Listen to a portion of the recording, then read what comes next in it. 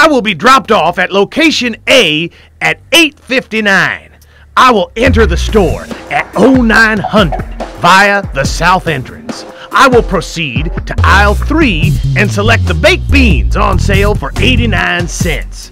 Then I will proceed to aisle 6 for cheese sauce for $1.46 and chips for $2.79.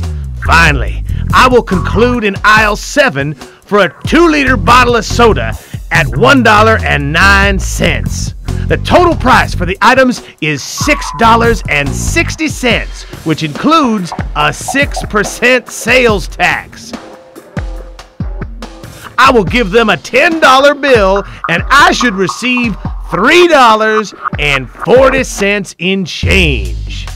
I suspect the clerk will give me the following. The purchase price was $6.60.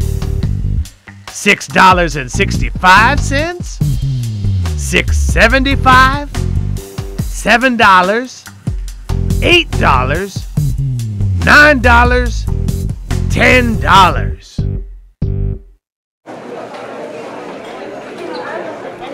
I need you to hammer out a price on these items.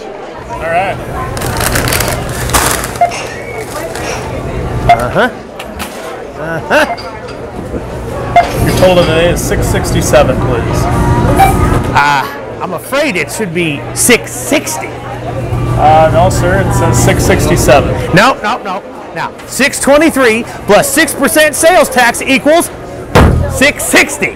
That is true, sir, but our sales tax is now 7%. So your sales total is 667. Code red! Code red! It's a, it's a bust! Code red!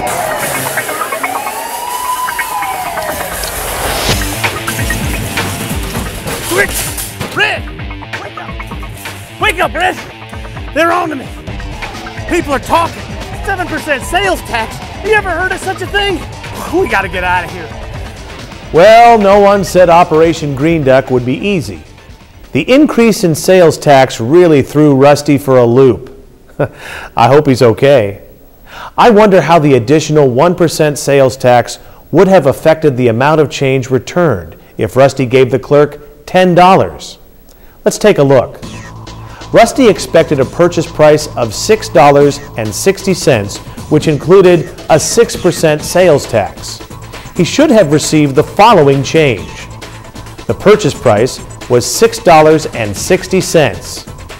665, 675, $7, $8, $9, $10. The sales tax was actually 7%, resulting in a purchase price of $6.67.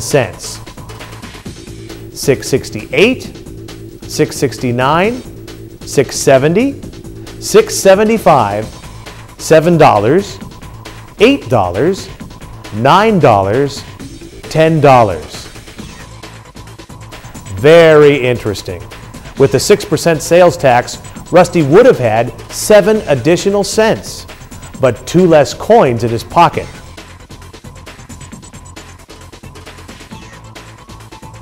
That concludes phase three of Operation Green Duck. It's looking good. And I may be jumping ahead of myself, but I believe I can say with confidence that people can count back change. Go to sdpb.org for more tips on how to count back change.